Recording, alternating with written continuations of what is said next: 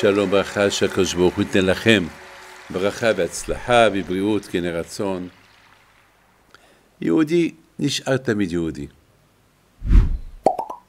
הוא נולד יהודי, הוא ימות יהודי. אפילו שהוא רחוק מהיהדות, אפילו שהוא רחוק מהקדוש ברוך הוא. יהודי זה יהודי. רבותיי, היה סיפור שקרה פה ברעננה ביום הבחירות. היו, אתם יודעים, היו, היו מקומות מיוחדים, איפה שיש שולחנות, הרבה שולחנות, כל שולחן והנציג שלו.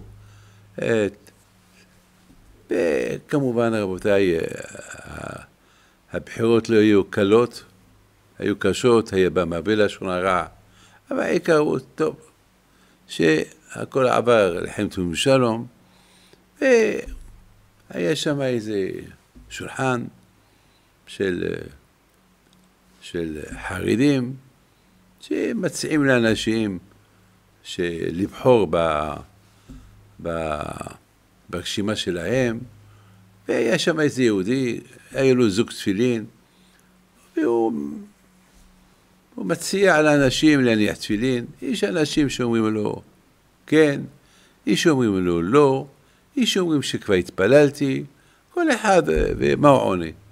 יש כאלה שסתם עומדים, מסתכלים, וליד השולחן הזה היה שולחן של יהודי אחד שהוא ליברלי, הוא, הוא אף פעם לא הניח תפילין בחיים שלו, היה לו אפילו סנדוויץ' לא כשר, ומסתכל, מסתכל על אנשים, באים, מניחים תפילין, הוא מציע גם כן את ה... את ה... את ה... במה להצביע. טוב. השכן שלו, החרדי, מציע לו, אומר לו, שמע, אתה רואה אנשים באים מניח תפילים, גם בלי כיפה, בלי כלום, אולי אתה רוצה להצטרף.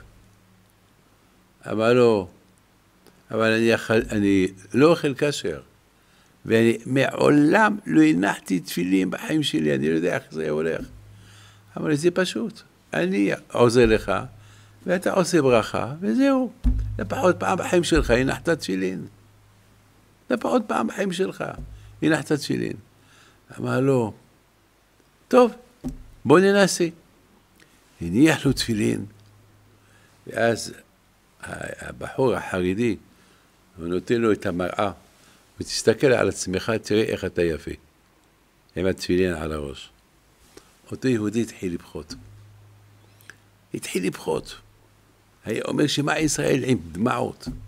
מיד לקח את הטלפון שלו, דרך וואטסאפ, שלח לכל החברים שלו, למשפחה שלו, תסתכלו עליי.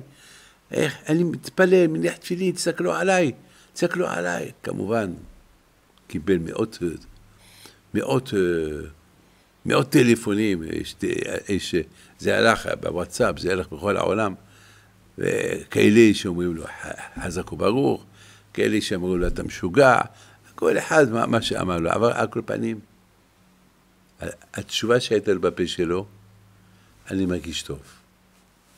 רבותיי, יהודי נשאר יהודי, לא משנה באיזה מצב הוא. אני זוכר, רבותיי, כשהייתי באוקראינה, הייתי סנדק לאיזה יהודי שהיה בגיל שמונים. אני הייתי סנדק שלו. ומשם, אחרי ש... משם הלכנו לסעודה, כמה בכה אותו יהודי.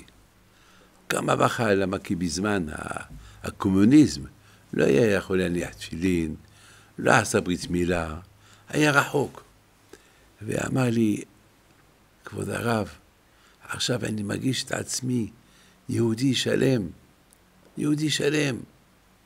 רבותיי, אנחנו אומרים, ברוך אתה בבואך וברוך אתה בצאתך. ברוך אתה שבאת לעולם הזה בלי עבירות, וברוך אתה בצאתך שתצא מהעולם הזה צדיק, בלי עבירות. רבותיי, כשבאים מאותו עולם, באים בלי עבירות, באים צדיקים, אבל כשיוצאים מהעולם הזה, זה בעיה גדולה, בעיה גדולה. איך יוצאים מהעולם הזה? זה בעיה גדולה. איך יוצאים? בעיה גדולה. יש עץ סערה, יש עץ סערה, יש הרבה, הרבה, הרבה, הרבה ניסיונות בעולם הזה. וצריך הרבה חסדי שמיים, צריך הרבה תפילות, צריך הרבה להתפלל לקדוש ברוך הוא. לזכות לצאת מהעולם הזה, בלי עבירות, לצאת צדיק. כמו רבותיי, הבן אדם הזה היה בגיל שמונים, איזה שמחה הייתה לו, איזה שמחה. אני הייתי, הייתי רוצה להיות במקומו, היה מחייך, רק עכשיו עשה ברית מילה, רק עכשיו עשה, יש, ודאי יש לו כאבים, כי הוא אדם זקן, אבל הוא יהיה שמח, הוא יהיה שמח. היה שמח שקיים את המצווה הזאת. אבל איך? איך? אנחנו ברוך השם, אנחנו רגילים לזה. אנחנו רגילים לקיים תורה מצוות. אבל הוא בשבילו, בגיל 80 לעשות את המצווה שאנחנו עושים בגיל שמונה ימים, זה לא דבר קטן. רבותיי, העיקר הוא שאין מאוחר, אין מוקדם מאוחר.